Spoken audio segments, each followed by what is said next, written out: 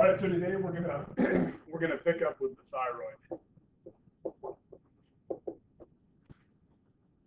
So the thyroid is an endocrine organ that's located in the neck,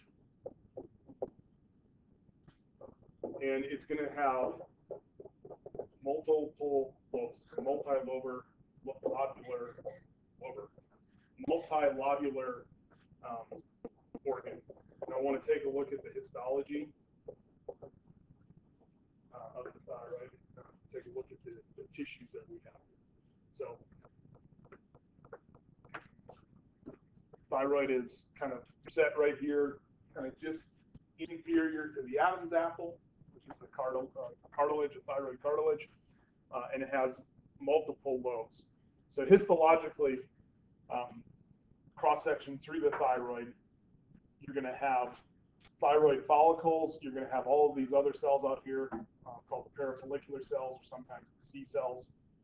And then surrounding each of these thyroid follicles is a layer of cells known as the, the follicular cells. Inside of the thyroid fo- follicle is uh, what's known as, as colloid. So it's, it's a it's a solution that has heavier particles in it.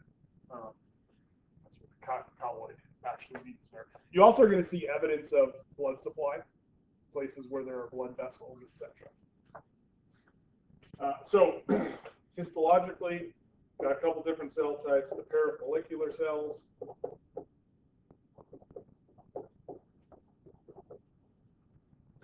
These are the cells that produce a hormone called calcitonin.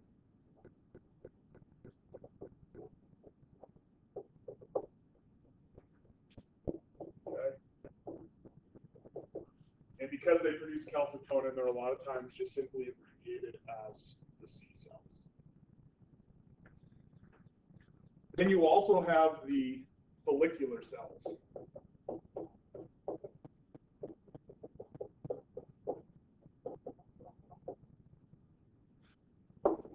And the follicular cell is classified as the principal cell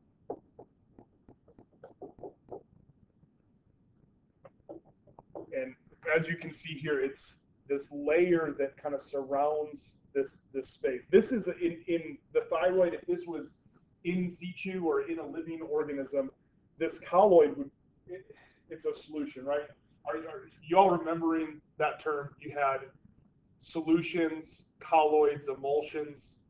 Okay, and so the colloid is just referencing that there's larger particulates inside of this inside of this um, this aqueous-based solution. And so the follicular cells, they they form the border or the edge of the of the thyroid follicle.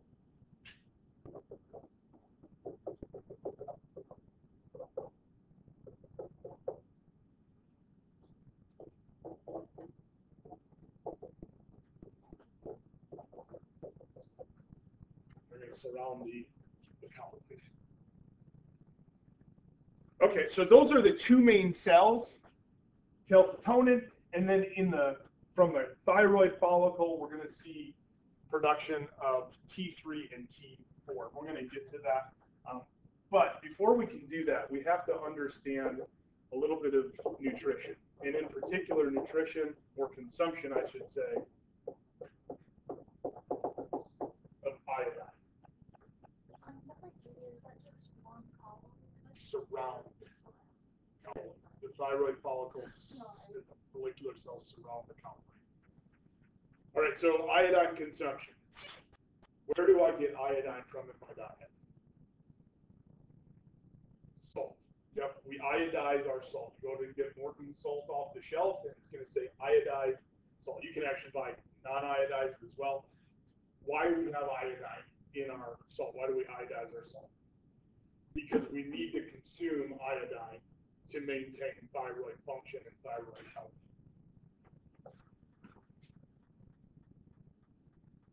Okay, so what you're looking at here is the bloodstream over here. This is an I minus right there. Okay, so this is your iodine coming in from your diet. And you can see that it's going to be transported into the thyroid follicular cells. So these are the cells that make up the border. This is the colloid here. There's a bunch of stuff that's happening We end up here inside of the colloid, and a bunch of stuff happens in here, and you can see that we have this pathway that moves iodine in so that iodine can be incorporated into these molecules. All right, so we're going to try to go through this, try to make sense of everything that's going on.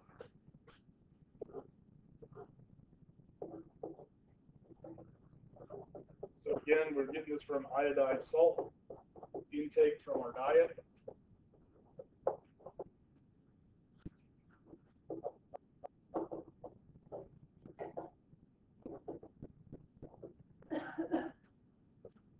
And it ends up in the GI tract. So it comes in as iodine, which is going to be a neutral, char a neutrally charged uh, atom.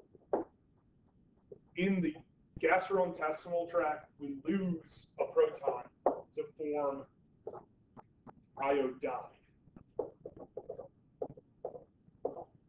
so we lose a proton and we become reduced. So iodine becomes iodide.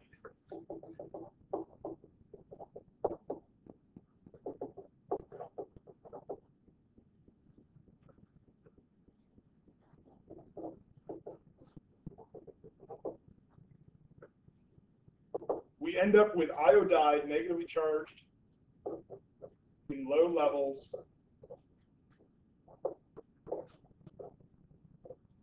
in the plasma. Okay? So that's kind of what you see. This is kind of picking up the story right here in this figure. This is iodide, our negatively charged ion, iodine, ion. Now what you can see is when we get uh, when we circulate into the thyroid, the follicular cells have this transporter.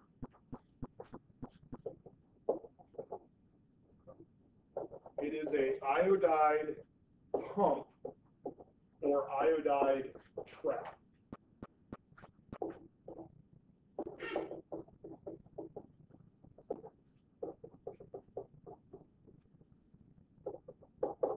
Okay, so this iodide pump or this iodide trap allows iodide to enter the follicular cells, and you can see that the mechanism here is actually going to be a co-transporter mechanism.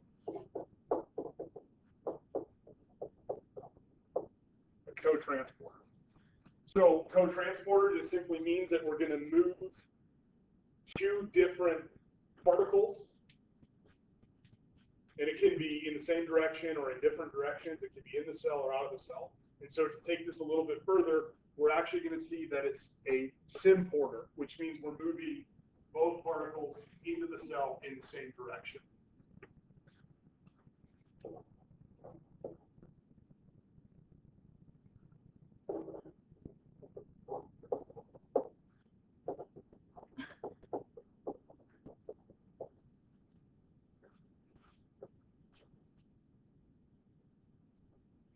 So I'm moving sodium into the cell, and piggybacked on that sodium, I'm moving the iodine. the way that this works, remember, is that sodium, where's my highest levels of sodium? Inside the cell or outside? Okay, so it's outside the cell. So the sodium actually has a concentration gradient, right? As that sodium flows through the, co the co-transporter, the positive of the sodium attracts the negative of the iodide and pulls it in. And so I'm going to start loading the cell up with sodium, which means I'm going to start to equalize that concentration gradient. And so I also have to have a second mechanism. And that second mechanism is actually not shown here, but there would be a second um, uh, transporter. It would actually be a sodium counter transporter that allows sodium to be pumped back out. Turns out that co-transporter is going to be our sodium potassium pump. So one of the pumps is our co-transporter where the iodide piggybacks down the concentration gradient for the sodium. And then we have our counter transport accomplished by moving potassium into the cell, sodium back out.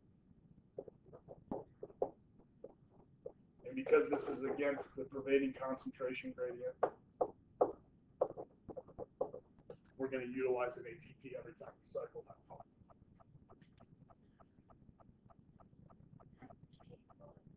Yeah, potassium. So it's a potassium, sodium potassium pump to maintain the sodium concentration gradient that favors the co-transport of the iodide into the thyroid follicular cell. Okay, so we're starting to load up this cell with iodine.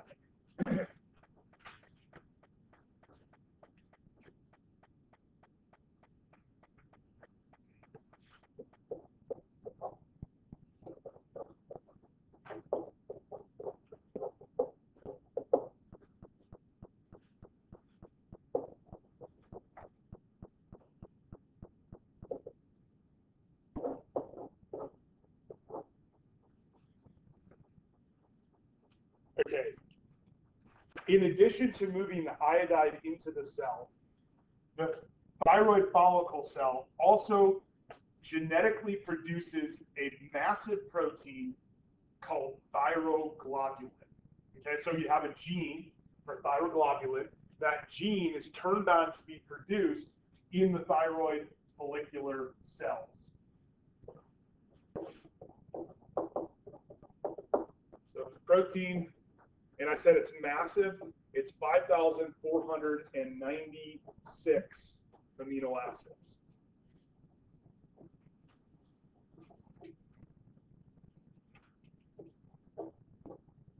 So this is a really, really big molecule. Its molecular weight is 666,000 daltons. So you have 5,496 amino acids, and of those 5,496 amino acids, 140 of them are tyrosine residues.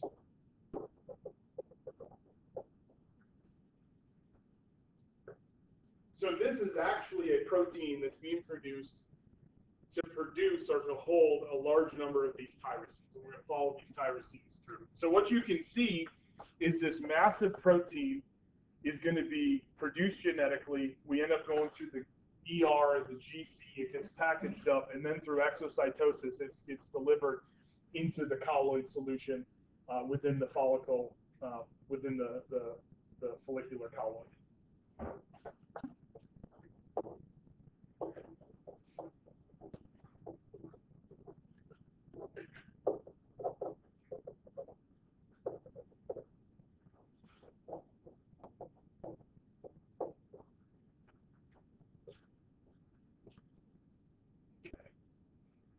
We have the mechanism to bring iodide into the follicular cell. We now have this mechanism of production and exocytosis secretion of this huge, uh, of this huge protein thyroglobulin.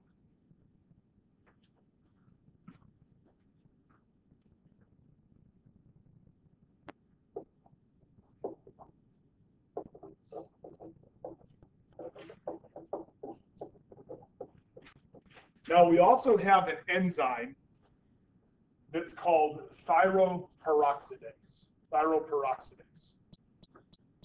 And what thyroperoxidase does is it catalyzes a chemical reaction to oxidize the iodide.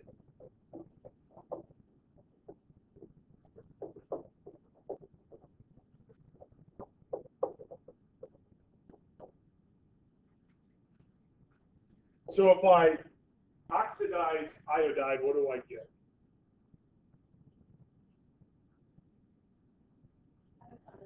Yeah, I'm back to iodide now.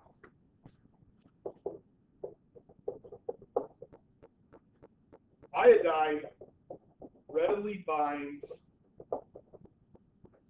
to tyrosines. Okay, so that's a very favorable, energetically, uh, spontaneous, energetically favorable reaction and I have 140 tyrosine residues that the iodine can bind to.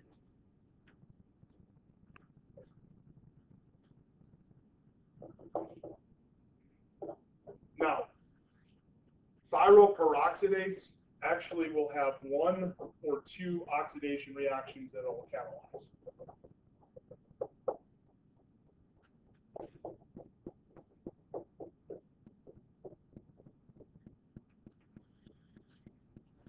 So just to kind of give you the summary here of what's going on, iodide comes in, it was converted to iodide from iodine in the gut. Iodine's transported in by our symporter. It actually gets transported across, and we have on the colloid surface of the follicular cell, uh, this is pendrin. So this is just another protein that is a iodine, iodide transporter.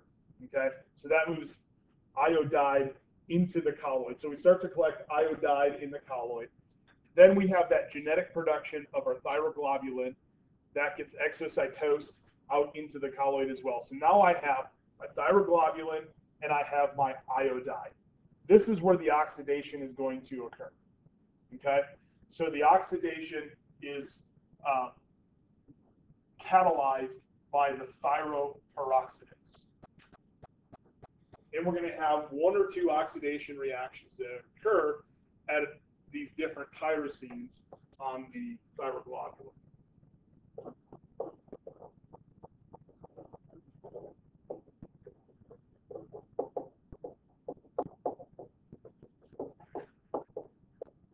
When iodine is bound to a tyrosine, you get a molecule referred to as iodotyrosine. So iodotyrosines are formed. And you have one or two reactions that occur. Basically, um, if you remember tyrosine, tyrosine has a carbon ring, and you have two different carbons that become available to bind iodine.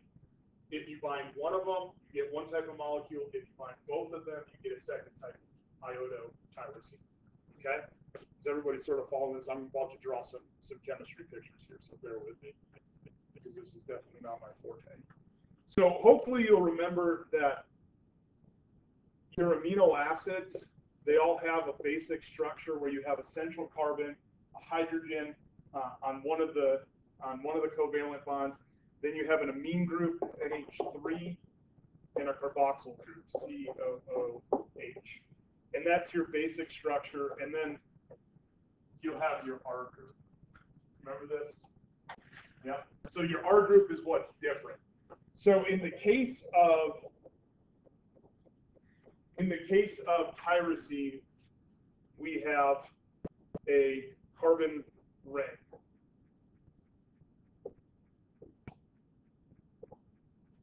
Okay? So this is tyrosine. That's your tyrosine molecule. In the presence of thyroperoxidase, you're going to incorporate iodine. So the iodide is oxidized, and when it's oxidized, it favorably reacts with either um, either of these carbons. I, I forgot a hydroxy group. There's a hydroxy group right here. Okay, so it favorably reacts with either of those of those um, of those carbons. Okay, so you end up with. Does everybody have this? I'm going to scoot up just a little bit. So you have iodine that can be incorporated.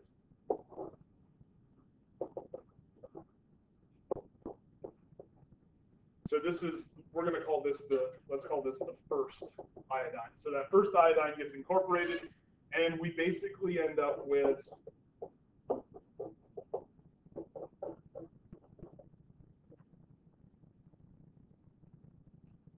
Oh man, I really didn't do a good job. I forgot a CH2 here as well. Did you just say yes?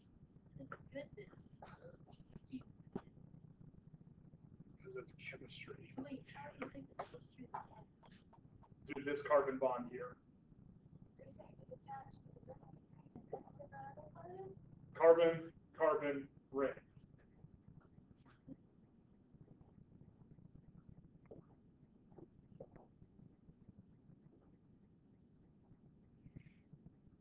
So it's a CH2. Yes.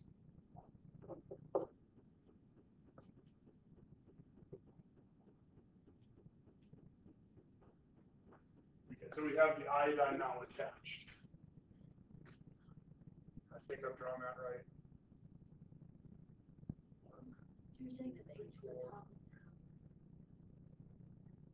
Well, I just drew that in shorthand. You, you could put it, put it in here as well. So that you have your four, your four complete covalent bonds. And then C is good. So we've got one, two, three, four. So there, I don't know what would be there. There's something there, I suppose. There's something there. Hydrogen probably. Um, You know, this so is there supposed, there's supposed to be a double bond here, isn't there?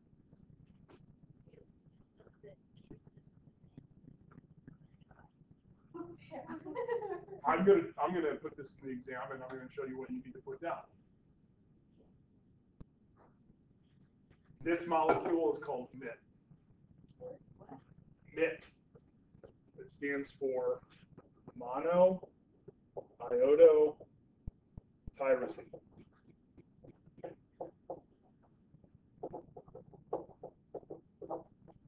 Monoiodotyrosine. Okay? So it's basically the tyrosine molecule that's now associated with a single iodine. Then the thyroperoxidase can do a second reaction to add another iodine.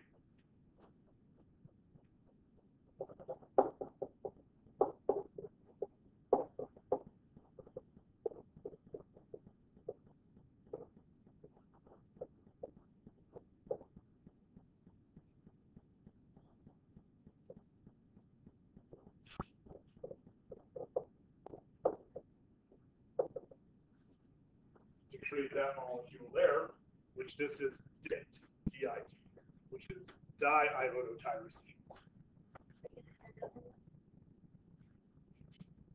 And what would that be?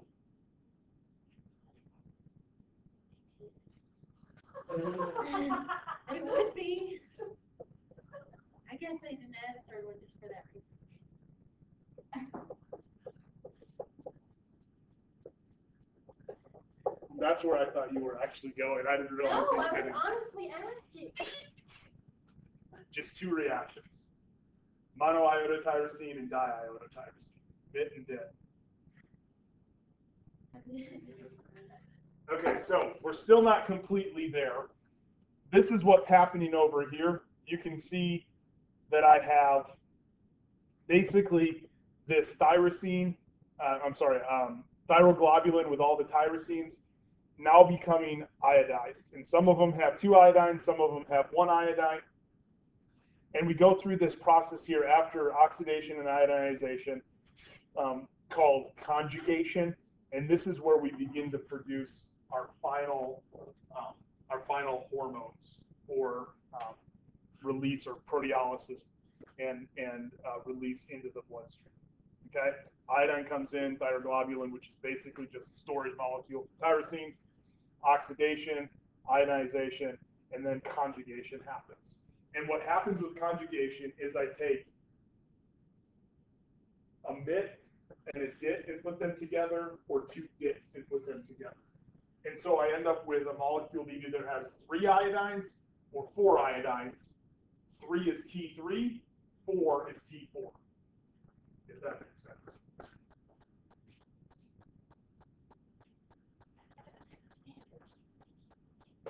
There you go.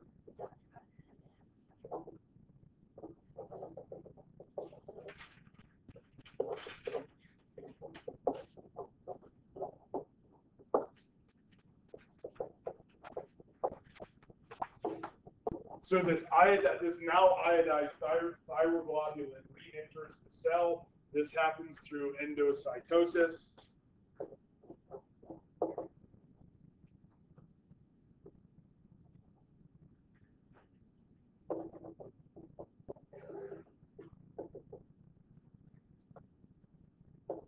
And we undergo proteolysis.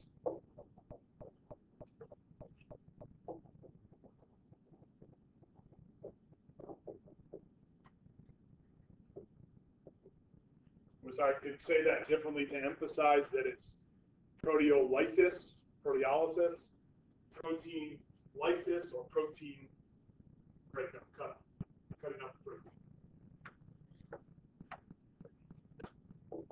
And so what happens during this proteolysis is that giant um, molecule, thyroglobulin, is broken into iodotyrosine residues.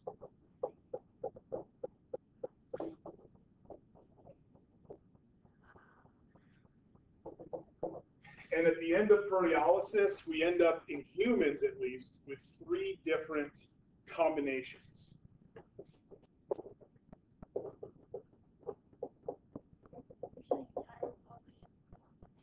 Yeah, so our big long protein that contains all of these different iodized tyrosines, we start breaking it up, right? We start chopping it up into iodotyrosine residues, and then these iodotyrosine residues, they start to get put together. And there are three different ways that they get put together um, in, in humans. So three combinations found in humans.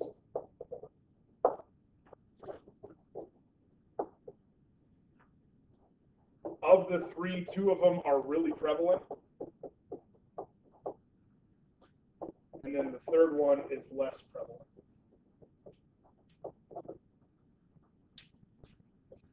And so with our iodotyrosines, you basically have mits and dits, right? Monoiodos and diiodos. And so one of the combinations is to attach two dits together. So I have four iodines in this molecule, and this molecule is called tetraiodotyrosines. And I, I, I'm sorry. Yeah, tetraiodotyrosine. which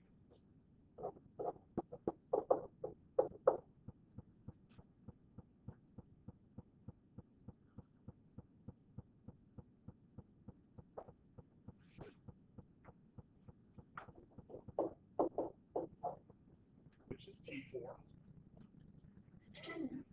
And it's actually better known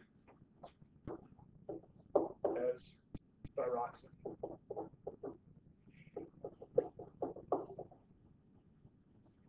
It's better known as thyroxine.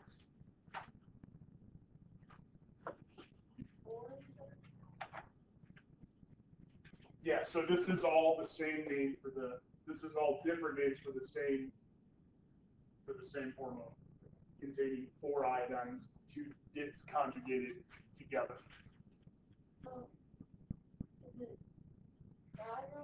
It's three, it's supposed to be thyronine because I now have two carbon rings together.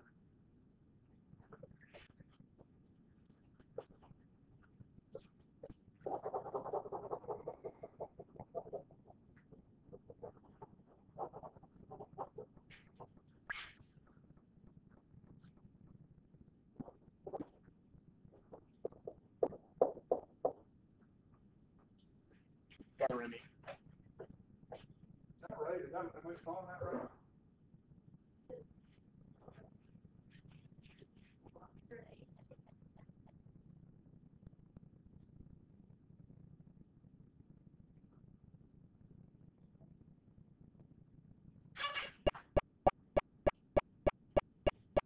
Because we've added two, two rings together, we've changed our R, our R on the, um, our R group on the amino acid. Let me make sure I'm spelling it right.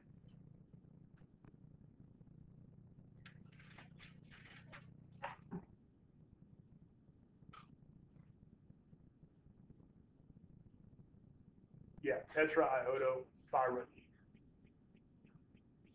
From tyrosine. Right? Everybody following me? That's spelled correctly. I didn't, I put the, I put the tyrosine in there. Um, originally, which is not correct. Names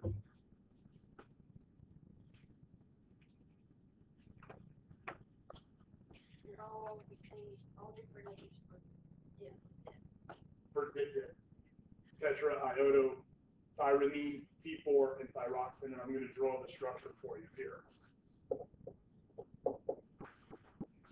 What's that? Yeah, because you're a biology major.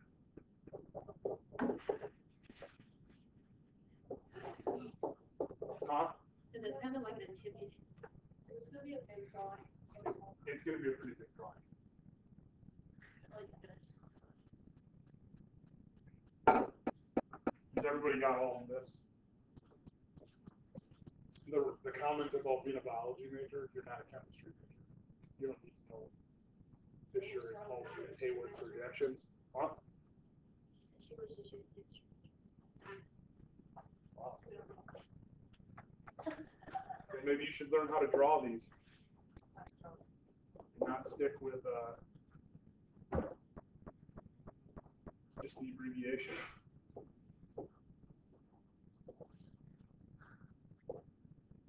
If you want to be a chemistry major, then why the heck are you here? Okay, that's, all right. You did that to yourself. For the love of the game, I'll give up on my aspirations in life. Yes. Okay, so you have your basic structure there. And then you take and basically add on at that hydroxyl group another another ring. I mean, did it? So why did it go from H two, H three to H two? Um, well, it could go to it could be NH3 as well because it's if the protonation is based off just based off of whether it's uh, uh, ionized, ionized or not pH, right? Amino acids can come in ionized and non-ionized forms. So if I change it to H three, so it matches all the other ones. You just have the ionized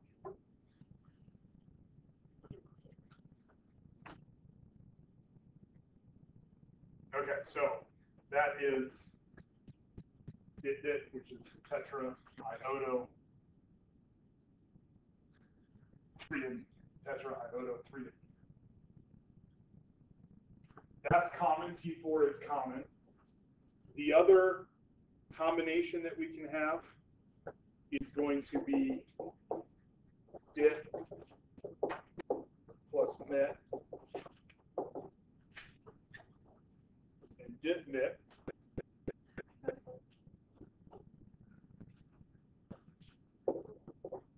Do what now?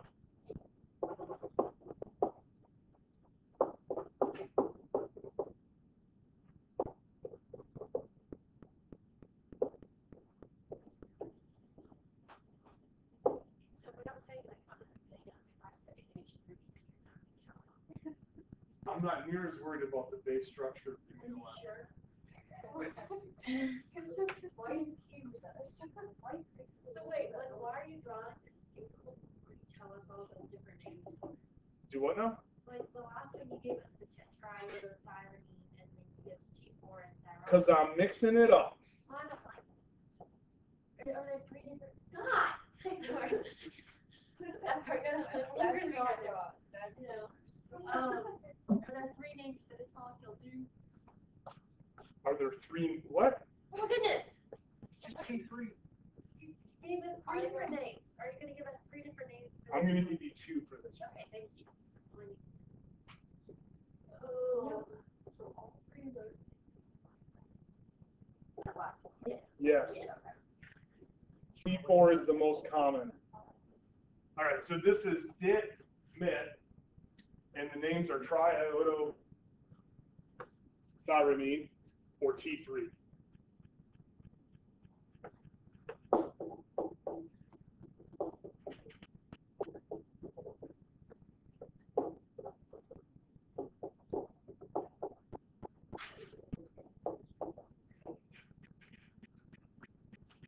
Okay, so those are the ones that are most common in humans. The third option is MIT-DIT, which is called reverse T3 and is not near as common.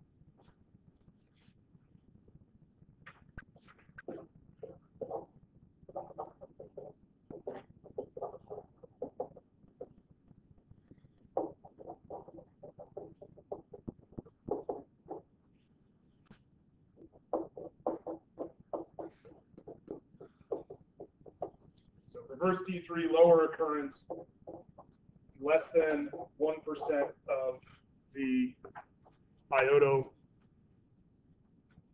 well, the, the hormones in circulation, thyroid hormones in circulation.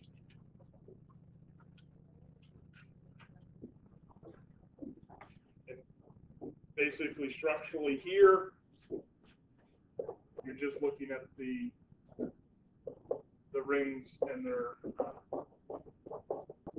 functional groups are changed. Position of the iodine, uh, one versus two is is just a little bit different.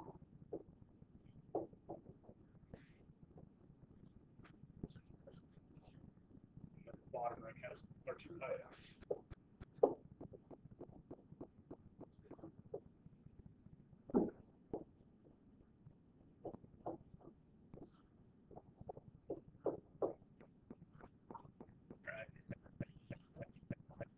So iodine comes in from the diet, gets reduced to iodide, gets transported with that symporter with sodium into the thyroid follicular cell.